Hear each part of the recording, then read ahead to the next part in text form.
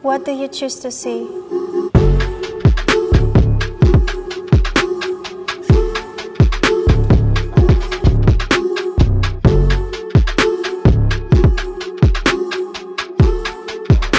Freedom of thought equated to creative freedom.